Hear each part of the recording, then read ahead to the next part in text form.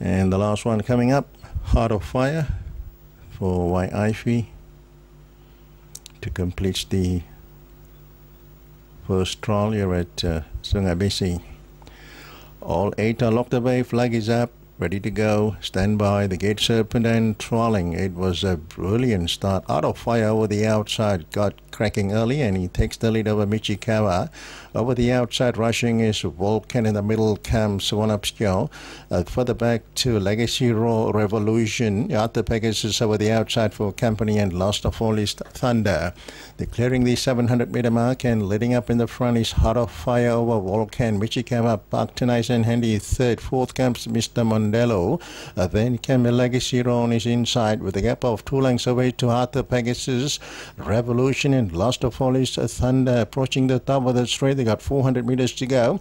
And Hearts of Fire is doing it well by two and a half lengths.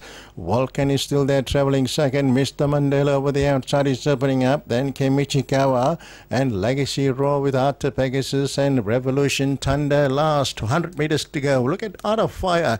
He's just streaking away to score handsomely by a big margin, seven lengths. Second out the Pegasus, third Legacy Raw, fourth game Thunder, good effort there.